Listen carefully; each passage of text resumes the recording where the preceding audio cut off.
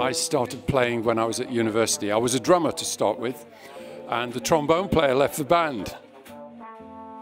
So I advertised for a trombone, and I bought a trombone from somebody in the Salvation Army who had lost his faith.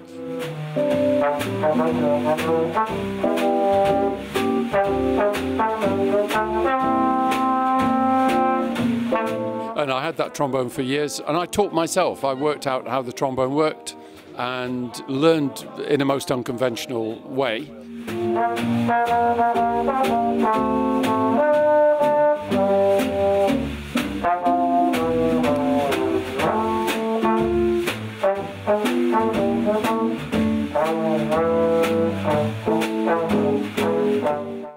I, I, can kind of play what's in my head, it just comes out. I've never felt constrained. Sugar, I call my baby my sugar, I'll never maybe my sugar.